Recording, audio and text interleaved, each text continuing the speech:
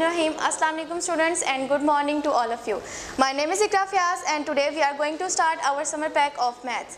Starting it from activity number 1, ordering numbers. Arrange the numbers in ascending order, least to greatest and write in the boxes. Ascending order. It is an increasing order from smaller to greater one. Now which one is the smallest number here? 14 you will write 14 in the first box. After 14, 17, 17 in the second box. After 17, 6, 25, 25 in the third box and in the last 6 66. In question number 2, 2 is the least number. You will write it in the first box. After 2, 11. You will write it in the second box. After 11, 19 you will write it in the third box and after 1979.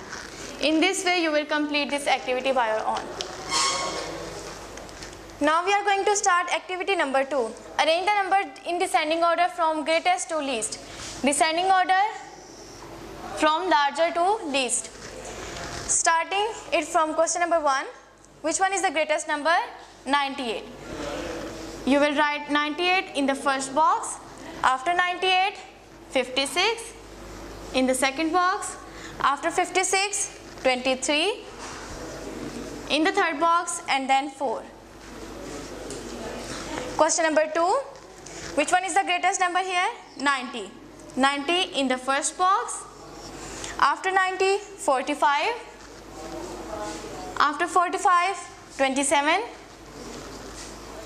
after 27 6